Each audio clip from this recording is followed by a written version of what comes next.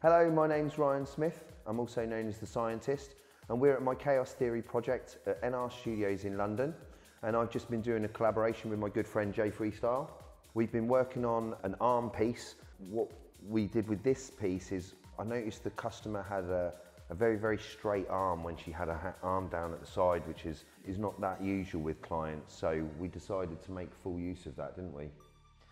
Yeah, her arm was yeah pretty much a, almost a perfect cylinder, so we thought to use that to our advantage, sort of optically change the shape of her arm and just like make this insane straight line that goes basically through the fingertips around, and then yeah we cinched it in in the middle by blackening everything out. Yeah, it was cool. Yeah, it just gives a totally different look to the arm, doesn't it? Like you say, it sort of optically challenges what you're used to seeing for the arm, but I think it went really well. I think for me it was very exciting about how we went around the fingers. It's just a crazy idea, wasn't it?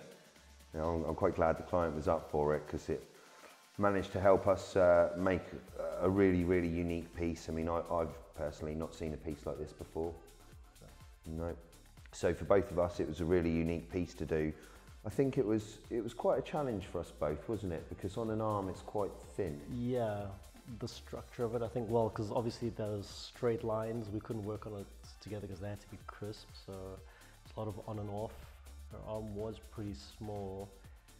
So yeah, we couldn't really work on it together. It was a lot of just yeah, switching. Yeah, swapping backwards and forwards. When you have something like a leg or a back or something, there's so much more space around you and to work with and lean on and everything. With an arm where it's thin, is it's not too much, and you've got to keep turning things around, and it's just it's not always ideal um, if an arm's too small when you're doing a collaboration, but we still managed to do a really, really cool piece with what we did. I mean, it did take a little while where we had to keep breaking it up like that, didn't it?